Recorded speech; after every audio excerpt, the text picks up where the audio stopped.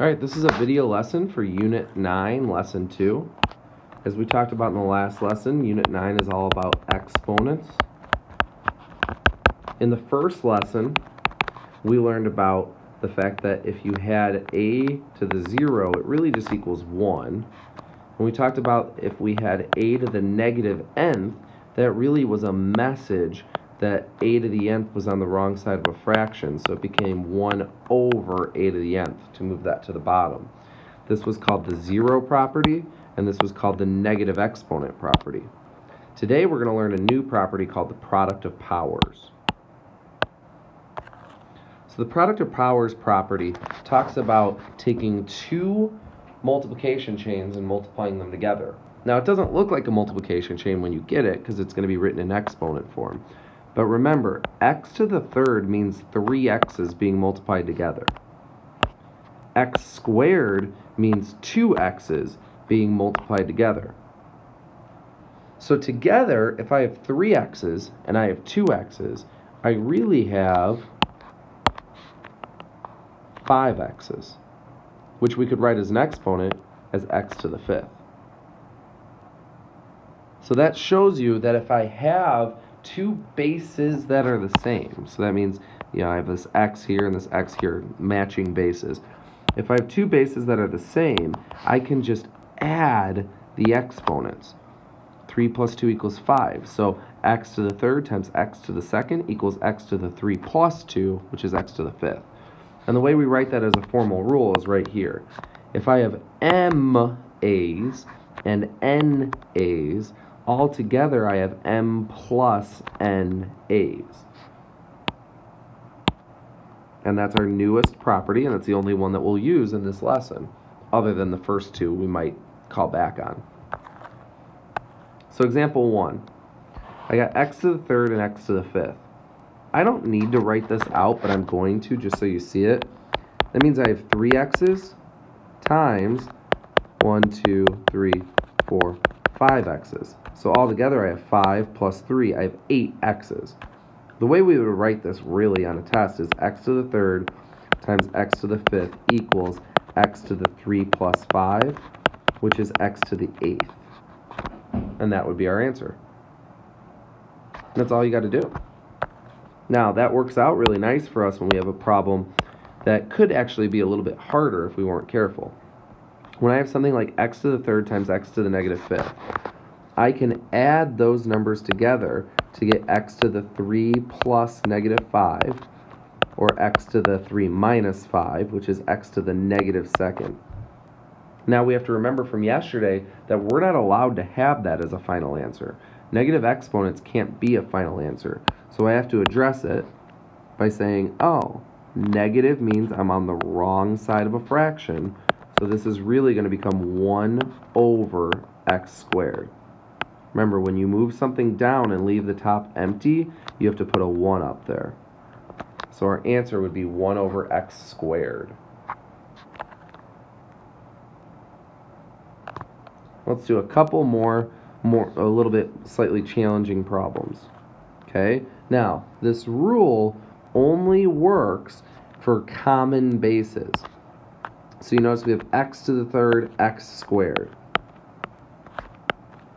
you're allowed to rearrange multiplication, so that's what I'm going to do. I'm going to move this multiplication chain around. I can put that together to say I have three x's and I have two more x's. I have five x's. But let's not forget about the y's. I have five y's and I have 11 y's. So really, I have, or sorry, I have five y's and six y's. So really, I have 11 y's which we would write as y to the 11th. So I'm using the addition rule. I'm using the fact that we have 3x's and 2x's to make 5x's. So really the step I didn't show is that I did x to the 3 plus 2. And I'm using the fact that I have 11 y's. 5 y's plus 6 y's makes 11 y's. And ultimately that gives me this final answer. Now you actually can't combine these because I don't have any xy's. I have 5 x's, and I have 11 y's in the multiplication chain. So this is as far as we can go. We just leave it like that. Sometimes you'll see it without the dot. I mean, typically you'll see it without the dot. Or they write it like this. Same answer. Means the same thing as what I wrote. Now, when I have parentheses, but I don't have any addition or subtraction or anything, it's actually just kind of trying to throw you off. It's all multiplication, so I don't really need those parentheses. I have a 2, I have an a cubed, I have a 4, I have an a to the fifth. I'm able to take this 2 and this 4 and multiply them together. We know what 2 times 4 is. It's 8. I'm able to do that. I'm also able to look at the a's and say, well, I have 3 a's and I have 5 a's, which really means I have 3 plus 5 a's or 8 a's. So my answer here, and I'll, I'll go back to my color coding. This is really 8, not because I'm counting how many A's there are for that blue 8. That 8 is because I took 2 times 4. This 8 is because I added the 3 A's and the 5 A's. There are 8 A's getting multiplied together, which gives us 8 A to the 8th. And all we have left is one more um, challenging problem where we got a lot of things going on. We've got numbers, which can be put together. We have A's, which can be put together. We have B's that can get put together. I see some negative exponents. I see some positive exponents. I see some zero exponents. There's a lot going on in this problem.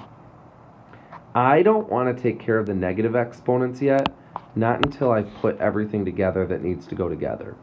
So I'm going to start by putting this negative 3 this 5 and this 2 together, which if I take negative 3 times 5 times 2, it becomes negative 30. Then I'm going to start worrying about my a's. I think I'm going to write it once. So a to the negative first times a to the fourth times a to the 0. Well, remember, a to the 0 is really just 1.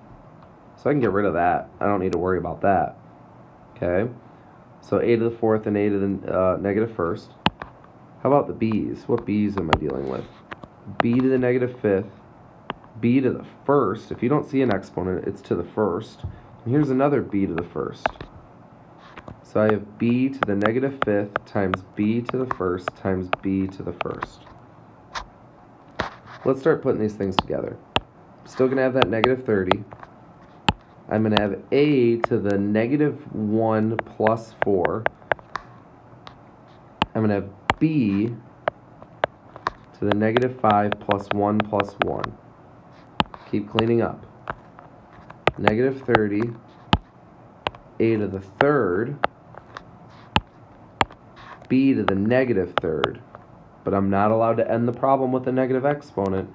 So I'm going to take this and move it to the bottom of the fraction. I'm still going to have this negative 30 up top. I'm still going to have an a cubed up top. And now I have a b to the third down on the bottom. And that's going to be our final answer. So sometimes there's a lot of work that goes into one of these problems, but remember now we have three properties that we just need to look for. We have, from up top, we have the zero property, which is a really nice one. It just turns whatever we have to the zero power into a 1. We have the negative property, which moves things to the other side of the fraction. And then today we learned the uh, power product of powers property, which sometimes I call the addition property, that says that if the bases match, you can add the exponents. And we use those through these different examples.